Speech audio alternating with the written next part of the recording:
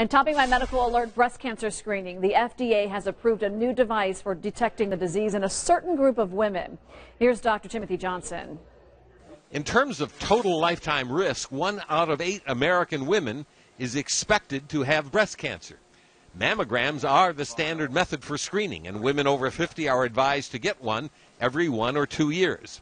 But for women with dense breast tissue, it's harder to see abnormalities, and a mammogram may not be sensitive enough to detect the disease. Until now, an ultrasound was used only for diagnosis after an abnormality was found on a mammogram or a mass was noticeable during an examination.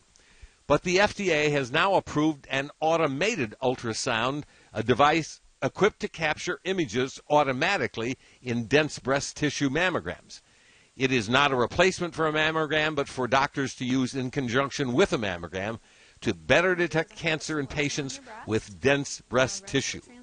With this medical minute, I'm Dr. Timothy Johnson.